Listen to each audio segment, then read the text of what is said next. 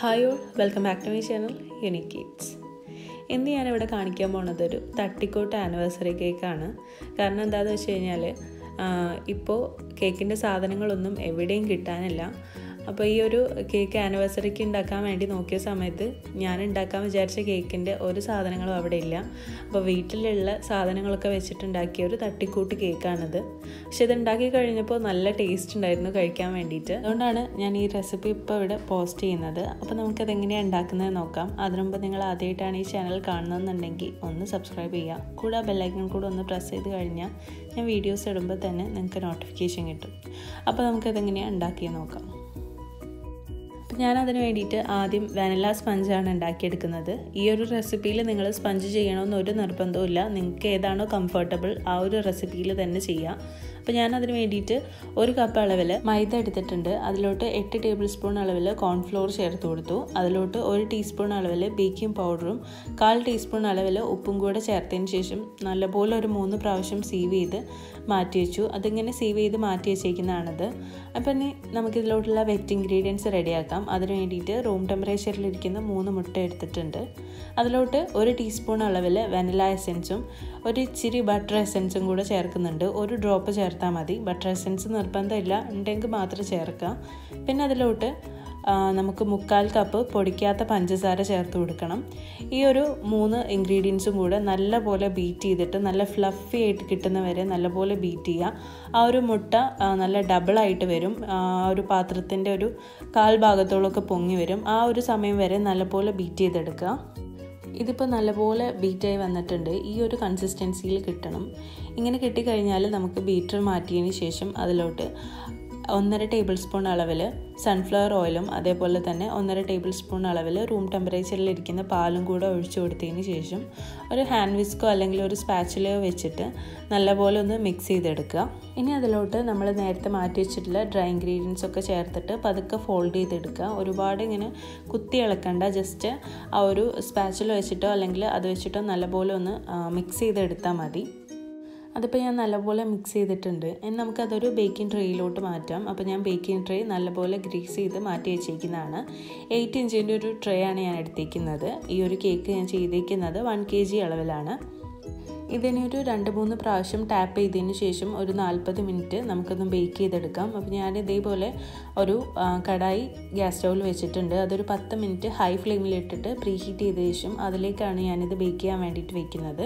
മുപ്പത് ടു നാൽപ്പത് മിനിറ്റിനുള്ളിൽ ഇത് ബേക്കായിട്ട് കിട്ടും. ഒരു മുപ്പത് മിനിറ്റ് കഴിയുന്ന സമയത്ത് ഒന്ന് നോക്കിയാൽ മതി. ഇതിപ്പോൾ ഏകദേശം മുപ്പത്തഞ്ച് മിനിറ്റ് കൊണ്ട് എനിക്ക് ബേക്കായി കിട്ടിയിട്ടുണ്ട്. നല്ലപോലെ ബേക്കായി വന്നിട്ടുണ്ട്. നല്ല ക്ലീനാണ് ഇനി നമുക്ക് വിപ്പിംഗ് ക്രീം ബീറ്റ് ചെയ്തെടുക്കാം. ഞാനിപ്പോൾ ഒന്നേകാൽ കപ്പ് ക്രീമാണ് എടുത്തേക്കുന്നത്. അത് നല്ലപോലെ ബീറ്റ് ചെയ്തെടുക്കുക. നല്ല സ്റ്റിഫ് പീക്സ് ആവണ വരെ ബീറ്റ് ചെയ്ത് കൊടുക്കുക. ഇപ്പോൾ നല്ല സ്റ്റിഫായിട്ടുണ്ട് ഇനി ഇതൊരു മുപ്പത് മിനിറ്റ് ഒന്ന് തണുപ്പിക്കാൻ വേണ്ടിയിട്ട് മാറ്റി വയ്ക്കാം സമയം കൊണ്ട് ഞാനിവിടെ കേക്ക് ലെയറാക്കി എടുത്തിട്ടുണ്ട്. കേക്ക് ലെയർ ആകുന്നതിന്റെ മുൻപ് നല്ലപോലെ ചൂടാറിയിട്ട് വേണം നമ്മൾ കേക്ക് ലെയർ ചെയ്തെടുക്കാൻ വേണ്ടിയിട്ട്. അല്ലാന്നുണ്ടെങ്കിൽ നമ്മുടെ കേക്ക് പൊട്ടിപ്പോവും. നമുക്കിത് ഐസിങ് ചെയ്തെടുക്കാം. അതിന് വേണ്ടിയിട്ട് ടേണിംഗ് ടേബിളിന് മുകളിൽ ഒരു കേക്ക് ബോർഡ് വെച്ചിട്ടുണ്ട്. അതിന്റെ പുറത്ത് നമ്മൾ കുറച്ച് ക്രീം അപ്ലൈ ചെയ്തിട്ട് ഫസ്റ്റ് ലെയർ അതിന്റെ മുകളിലോട്ട് വെച്ച് കൊടുക്കാം. അപ്പോൾ ഞാൻ ഈ ഒരു കേക്ക് വെറ്റ് ചെയ്യാൻ വേണ്ടിയിട്ട് ഷുഗർ സിറപ്പിന് പകരം എടുത്തേക്കുന്നത് അര കപ്പ് പാലും അതിലോട്ട് രണ്ട് ടേബിൾ സ്പൂൺ അളവിൽ കണ്ടൻസ്ഡ് മിൽക്കും ഒരു ടീസ്പൂൺ അളവിൽ പഞ്ചസാരയും കൂടി ചേർത്തിട്ടുള്ള ഒരു മിക്സാണ് അത് ചേർത്തിട്ടാണ് ഞാൻ ഈ ഒരു കേക്ക് നല്ലപോലെ വെറ്റ് ചെയ്തെടുക്കുന്നത്. ഇനി അതിന്റെ മുകളിലോട്ട് ക്രീമിന്റെ ഫസ്റ്റ് ലെയർ അപ്ലൈ ചെയ്തതിന് ശേഷം നല്ലപോലെ സ്പ്രെഡ് ചെയ്ത് കൊടുക്കുക. അതിന്റെ മുകളിലോട്ട് മാംഗോയുടെ ക്രഷ് ചേർത്ത് കൊടുക്കുക. മാംഗോയുടെ ക്രഷ് ഇല്ലാന്നുണ്ടെങ്കിൽ നിങ്ങൾക്ക് ഏത് ക്രഷ് വേണമെങ്കിലും ചേർക്കാം. എന്നിട്ട് അത് നല്ലപോലെ ഒന്ന് മിക്സ് ചെയ്തെടുക്കുക. അതിന്റെ മുകളിലോട്ട് കുറച്ച് ചോക്ലേറ്റ് ഗ്രേറ്റ് ചെയ്തതും കൂടെ ആഡ് ചെയ്ത് കൊടുക്കുക. ഇനി സെക്കൻഡ് ലെയറും ഇതേപോലെ തന്നെ ചെയ്തെടുക്കുക. മൂന്നാമത്തെ ലെയർ വെച്ച് കൊടുക്കാം. മൂന്നാമത്തെ ലെയറിൽ ഈ ഒരു ക്രഷും അതേപോലെ ചോക്ലേറ്റും ഒന്നും ഇട്ട് കൊടുക്കണ്ട. നമുക്ക് ജസ്റ്റ് അതൊന്ന് വെറ്റ് ചെയ്ത് കഴിഞ്ഞതിന് ശേഷം എല്ലാം കൂടെ ഒന്ന് ഐസിങ് ചെയ്തെടുത്താൽ മതി. ഞാനിത് ഡയറക്റ്റ് ആയിട്ട് ഫൈനൽ ഐസിങ് കൂടെ ചെയ്യുകയാണ് നിങ്ങൾ ബിഗിനേഴ്സ് ആണെന്നുണ്ടെങ്കിൽ ക്രം കോട്ട് ചെയ്തിട്ട് ഒരു മണിക്കൂർ ഫ്രിഡ്ജിൽ വെച്ചിട്ട് വേണം ഇതിന്റെ മെയിൻ ഐസിങ് ചെയ്തെടുക്കാൻ വേണ്ടിയിട്ട് കാരണം എന്താണെന്ന് വെച്ച് കഴിഞ്ഞാൽ ഇപ്പം നല്ല ചൂടായതുകൊണ്ട് തന്നെ നമ്മൾ എല്ലാ ഐസിങ് കൂടെ ഒരുമിച്ച് ചെയ്തെടുക്കുന്ന സമയത്ത് പെട്ടെന്ന് മെൽറ്റായി പോകും ക്രീം അതുകൊണ്ടാണ് അപ്പോൾ ആദ്യം ക്രം കോട്ട് ചെയ്ത് ആ ഒരു ക്രീം നല്ലപോലെ തണുത്തതിന് ശേഷം ചെയ്ത് കഴിഞ്ഞാൽ നിങ്ങൾക്ക് സിമ്പിളായിട്ട് ഫൈനൽ ഐസിങ്ങും ചെയ്തെടുക്കാൻ വേണ്ടിയിട്ട് പറ്റും. അപ്പോൾ ഈ ഒരു വേനൽക്കാലത്ത് ക്രീം നല്ല സ്റ്റിഫായിട്ട് ഇരിക്കാനുള്ള കുറച്ച് ടിപ്സും കാര്യങ്ങളും ഇൻക്ലൂഡ് ചെയ്തിട്ട് ഞാനൊരു വീഡിയോ ചെയ്തിട്ടുണ്ട്.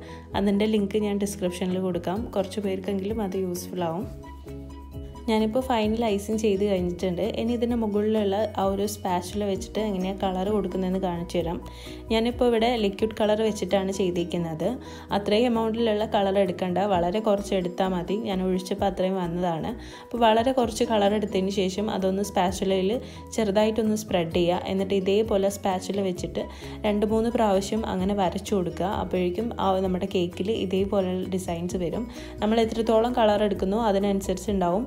ആ ഒരു സ്പാച്ചുലയിൽ കളർ വരുന്നത്. അപ്പോൾ ഓരോ പ്രാവശ്യം നമ്മൾ ഇതിങ്ങനെ ചെയ്ത് കഴിഞ്ഞതിന് ശേഷം ജസ്റ്റ് എന്തെങ്കിലും ഒരു ടിഷ്യൂ വെച്ചിട്ടോ അല്ലെങ്കിൽ ഒരു പേപ്പർ വെച്ചിട്ടോ നമ്മുടെ ഐസിൻ നൈഫിലുള്ള ക്രീം നമ്മൾ തുടച്ച് കളയണം. അല്ലാന്നുണ്ടെങ്കിൽ അതെല്ലാം കൂടെ നമ്മുടെ കേക്കിൽ സ്പ്രെഡായിട്ട് വൃത്തികേടാവും.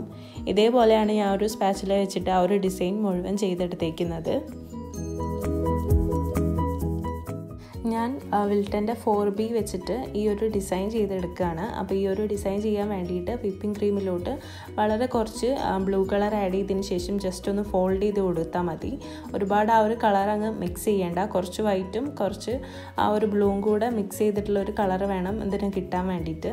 അതിനുശേഷം ഞാൻ വിൽട്ടന്റെ ഫോർ ബി വെച്ചിട്ട് ആ ഒരു ഡിസൈൻ ചെയ്തെടുത്തു. പിന്നെ ഒരു ഡിസൈൻ ഇല്ലാണ്ട് ജസ്റ്റ് ഒരു പൈപ്പിംഗ് ബാഗ് അറ്റത്ത് കട്ട് ചെയ്തതിന് ശേഷം അതിലോട്ട് കുറച്ച് വിപ്പിംഗ് ക്രീം ആഡ് ചെയ്തിട്ടാണ് മറ്റേ ഡിസൈൻ ഞാൻ ചെയ്തെടുത്തത്. ഈ ഒരു ഡിസൈൻ ചെയ്യുന്ന വീഡിയോ ഇതിൽ പെട്ടിട്ടില്ല അതുകൊണ്ടാണ്. അതിന്റെ മുകളിലോട്ട് ഞാൻ കുറച്ച് റൈസ് പോപ്സ് ഇട്ട് കൊടുക്കുകയാണ്. നിങ്ങൾക്ക് വേണമെങ്കിൽ ചേർത്താൽ മതി. അപ്പോൾ എല്ലാവരും ഈ ഒരു കേക്ക് ഒന്ന് ട്രൈ ചെയ്ത് നോക്കുക. വളരെ സിമ്പിളാണ് നല്ല ടേസ്റ്റുമാണ് ഈ വീഡിയോ നിങ്ങൾക്ക് ഇഷ്ടമായി എന്നുണ്ടെങ്കിൽ ലൈക്ക് ചെയ്യുക കമന്റ് ചെയ്യുക ഫ്രണ്ട്സ് ആൻഡ് ഫാമിലിക്കൊക്കെ ഇതൊന്ന് ഷെയർ ചെയ്ത് കൊടുക്കുക.